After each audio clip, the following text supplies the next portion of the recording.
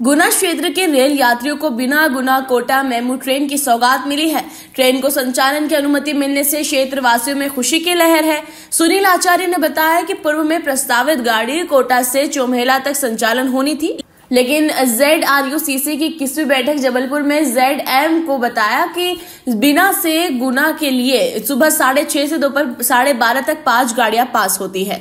इसके बाद पाँच से छह घंटे तक गुना आने के लिए कोई गाड़ी नहीं है।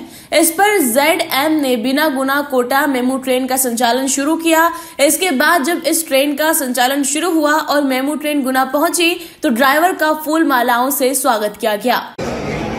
आज आप देख रहे हैं जैसी गाड़ी बरसों पहले इसकी डिमांड चल रही थी कि बिना से कोटा के लिए कोई गाड़ी नहीं है वर्तमान में तो बिना से लेकर कोटा तक कोई गाड़ी चलाई जाए। और वहाँ बिना से जो कोटा से लेकर गाड़ी जो बिना के लिए नहीं थी तो वो, उसके लिए भी डिमांड की जा रही थी पहले से, पूर्व से। तो अभी जेडारी सी की मेंबर जो इक्कीसवीं बैठक थी जबलपुर में तो वहाँ पर इसको रखा गया। जी महोदय के समक्ष कि बिना से अपराह चार बजे पे वहाँ पर गुना जाने के लिए कोई गाड़ी नहीं है जिससे यात्री बहुत परेशान होते हैं। तो इसलिए यहाँ पर से कोई गाड़ी यहाँ पर चलाया जाए। तो जीएम महोदया ने इस बात को समझा और जाना।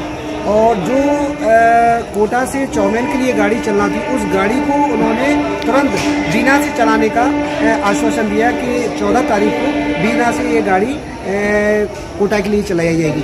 जिससे यहाँ पर बीना गुना, अशोकनगर, मुगावली और यहाँ ब्यावरा के लोगों को, यहाँ रुखियाई के लोगों के लिए बहुत फ़ायदा होगा। जिससे चिकित्सा, शिक्षा और जो रोज़गार है, उस संबंधी में बहुत ज़्यादा लोग लाभान्वित होंगे।